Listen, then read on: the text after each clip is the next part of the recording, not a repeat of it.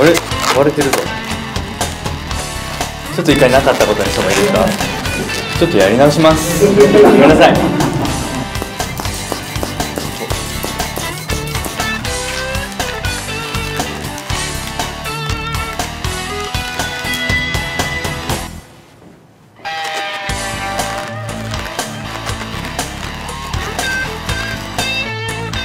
はいお待たせしました。完成です。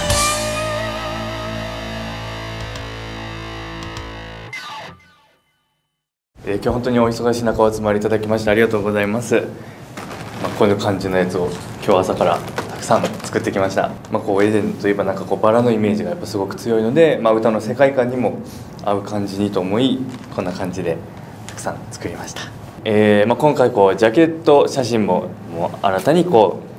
う違った衣装を着て、えー、そしてまた、えー、この A タイプ B タイプとはまたこう雰囲気もガラッと変えた、えー、ジャケット写真になってますしそして中身も、えー、カップリング曲が、えー、全てオリジナル曲になりまして、えー、C タイプには「会いたかったよ」という曲そして D タイプには「情熱太鼓」という、えー、1曲を収録させていただいておりまして、まあ、どちらもこう本当にあのタイプの違うこう演歌の作品なんですけど、えー、またこの C タイプ D タイプで、えー、また辰巳ゆとの歌の世界観もさらにこう広がっていっているんじゃないかなと思うので、まあ、ぜひそういったところにも注目してお聴きいただきたい、えー、作品になってます。発売日当日もこう生配信キャンペーンとかやらせていただいてやっぱこうチャットで皆様がすごいあの家に届いたよとかも早速聞いてますとかこうたくさん温かいメッセージいただけてでまたこうジャケット写真もこう今までピンクの衣装がなかったのが今回初めてピンクの衣装だったのでやっぱそういったこうビジュアル的なところも喜んでいただけてるみたいなので、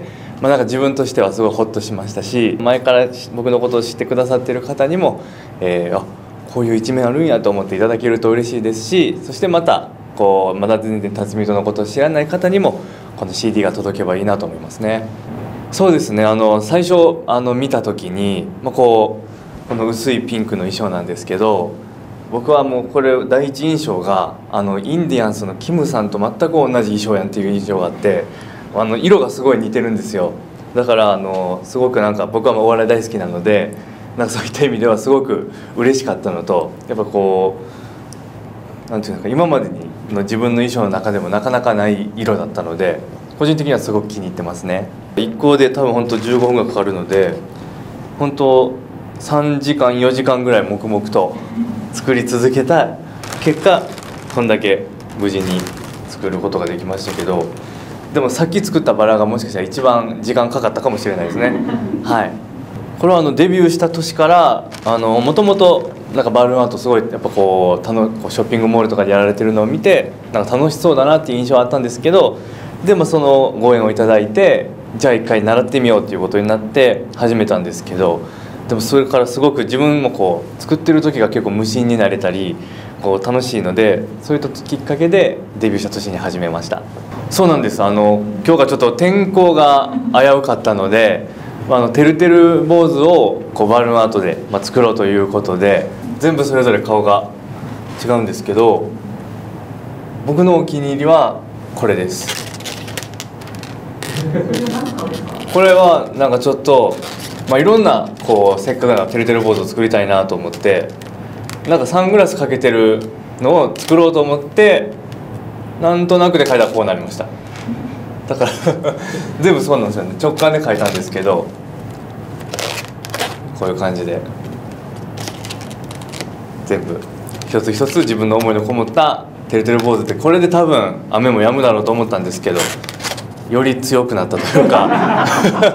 そこはちょっとねあのあれなんですけどはい。でもなんかこう少しでもなんかこういうちょっと形で晴れたら本当いいなと思って 作りました。そうなんですよね。なんで今日に限ってっていう気持ちがやっぱすごい強いんですけど僕自身も多分絶対晴れ男だと思うので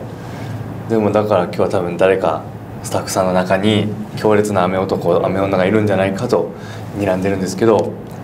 でも、まあ、これもこれでまた記念な一日になるのかなと思うので、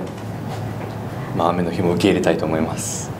えー、またあのこの「誘われてエデン望郷」えー、この C タイプ D タイプを発売させていただいて、えー、またここから